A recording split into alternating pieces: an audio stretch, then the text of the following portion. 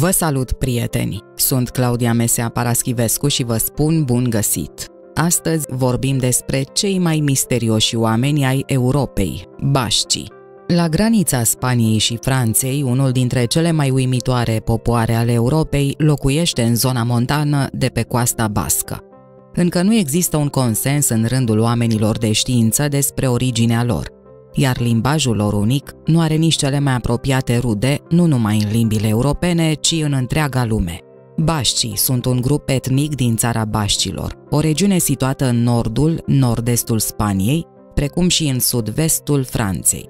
Astăzi locuiesc în lume aproximativ 20 de milioane de baști, dintre care aproape 3 milioane în țara Bașcilor, respectiv Franța și Spania, aproximativ 5 milioane de persoane cu origini bașce în alte regiuni ale Spaniei și Franței, precum și în jur de 8 milioane în America Latină, preponderent în Chile și Argentina. Bașcii nu sunt spanioli, limba lor nu are nimic latin în ea. Sunt urmașii triburilor vascone așezate în golful care astăzi se numește Biscaya, în urmă cu aproape 2000 de ani, susțin unii istorici. Alți istorici le atribuie origini celtice și îi aseamănă într-un fel cu irlandezii. Oamenii aspri, trăind într-o climă dură, umedă, având drept scut Pirineii, bașcii și-au păstrat limba pe care lingviștii o consideră nu doar izolată genetic, ci și cea mai veche din Europa. Specialiștii nu-i găsesc nicio relație lingvistică față de alte limbi latine, ceea ce se vede din numerele de la 1 la 10. 1 bat, 2 bi, 3 chiru, 4 lau, 5 bord, 6 sei, 7 zabzi, 8 zorții, 9 bederații, 10 hamar. Seamănă, în afară de 6 care este sei ca în italiană, nici de cum.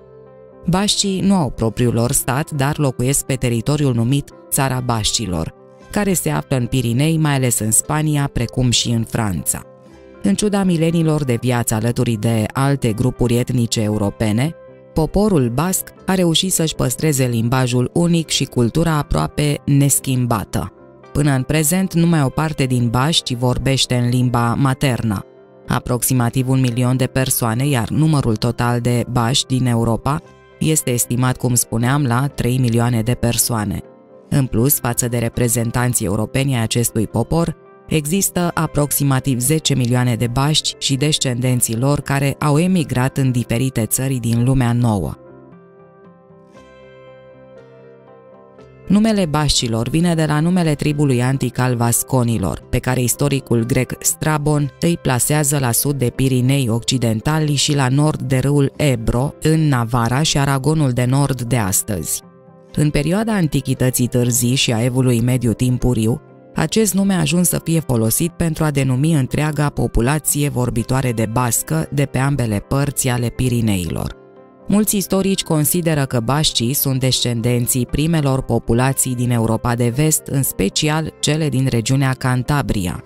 Triburile bașce fuseseră menționate de Strabon și Pliniu, fiind numiți vasconi și achitani. Există suficiente dovezi că aceste populații vorbeau o limbă asemănătoare cu basca.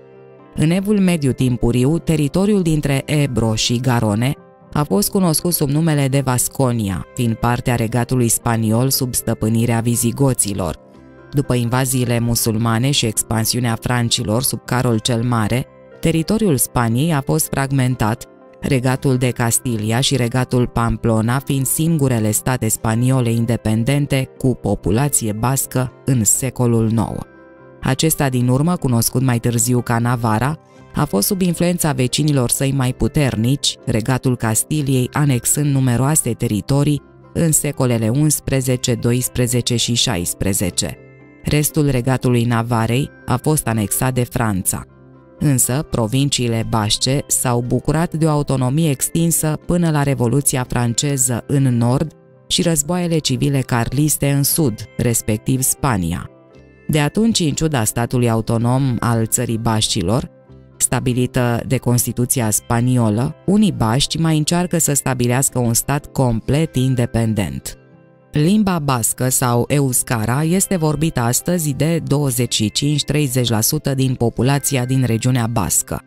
O idee centrală promovată de politicienii naționaliști baști este faptul că în bască, bașcii se identifică prin termenul Euskaldun și își numesc țara Euskal Heria, adică vorbitor de bască, respectiv țara limbii bașce. Limba a fost considerată drept o problemă politică de către politicile oficiale spaniolă și franceză, fiindu-i restricționată utilizarea. Cu toate acestea, acest lucru nu a oprit predarea, vorbirea, scrierea și cultivarea acestei limbi minoritare din ce în ce mai vibrante. Ca urmare a promovării limbii de stat, politicilor educaționale, a impactului mass media, precum și a efectelor migrației, astăzi aproape toți bașcii, cu excepția unor copii sub vârsta școlară, vorbesc limba oficială a statului lor, respectiv spaniolă sau franceză. Prin urmare, există foarte puțini baști ce vorbesc doar o limbă, toți bașcii fiind bilingvi. Această realitate, împreună cu faptul că spaniola sau franceza sunt limbile materne ale cetățenilor din alte regiuni, care de multe ori nu doresc să învețe basca, menține poziția dominantă a limbilor de stat atât în Franța cât și în Spania. Politica oficială a guvernului autonom basc este de a schimba această situație privind starea actuală ca o amenințare potențială la adresa utilizării de către majoritatea bașcilor a limbii materne. Limba bască, numită Euscar, este una dintre puținele limbi al căror loc în clasificarea mondială a limbilor nu a fost încă determinată. Lingvistic nu aparține niciuneia dintre familiile și grupurile bine cunoscute datorită unicității sale ridicate. Au fost făcute studii pentru a găsi legăturii generale între euscar și limba arabă, japoneză și limbile triburilor nomade ale Africii de Vest, precum și cu dialectele popoarelor din Caucaz. Este posibil să se ia în considerare în mod fiabil că limba bască a existat în evul mediu timpuriu. Nu cu mult timp în urmă, lingviștii francezi au demonstrat că euscar este o limbă autonomă, care s-a format aproximativ cu 8.000 de ani în urmă și de atunci se dezvoltă independent. Cercetătorii au recunoscut limba baștilor singurul limbaj dorim din Europa care s-a păstrat de-a lungul timpului. Disperați să afle originea baștilor cu ajutorul afilierii lingvistice la un anumit grup, cercetătorii au apelat la ajutorul geneticii, dar ei au adăugat și mai mult mister decât claritate la această întrebare. S-a dovedit că planul genetic basc este departe de toate națiunile Europei și are un grad ridicat de unicitate. După ce au studiat ADN-ul bașcilor, oamenii de știință au ajuns la concluzia că aceștia sunt descendenții ai fermierilor din primul val de imigranți care au pătruns în Europa cu aproximativ 7500 de ani în urmă, iar genetica lor unică se datorează izolării pe termen lung de toate celelalte grupuri etnice și popoare, inclusiv de imigranții ulteriori de pe alte continente. Dar alți specialiști aderă la un alt punct de vedere, potrivit căruia oamenii trăiesc în Europa de cel puțin 35.000 de ani. Arheologii au efectuat studii pe mormintele găsite pe teritoriul țărilor bașce, datate în diferite perioade – însă nu au găsit nicio dovadă care să ne permită să vorbim despre schimbarea compoziției populației în acest domeniu pe tot parcursul timpului. Limba bască este considerată a fi o limbă izolată genetic. Astfel, limba bască contrastează cu alte limbi europene, majoritatea fiind limbi indo-europene. O altă particularitate a limbii bașce este că aceasta a fost vorbită continuu în situl din jurul locației sale teritoriale din prezent, mai mult decât alte limbi europene moderne, care au fost toate introduse în vremuri istorice sau preistorice prin migrații ale populațiilor sau alte procese. Cu toate acestea, mulți consideră că este eronată catalogarea limbii bașce ca fiind cea mai veche limbă din Europa și unică printre limbile din lume. De-a lungul secolelor, Basca a rămas în contact permanent cu limbile vecine, împrumutând numeroase elemente lexicale și caracteristici tipologice. Basca este de asemenea o limbă modernă, fiind utilizată în toate contextele sociale și culturale. Bașcii constituie un grup genetic omogen, clar distinct de restul europenilor, susține și un studiu al cercetătorilor de la CIC Biogun – Studiul vine să confirme teoria conform cărora bașcii sunt genetic diferiți de restul populației europene. Investigația aflată însă în disonanță cu un alt studiu al Universității Pompeu Fabra din Barcelona.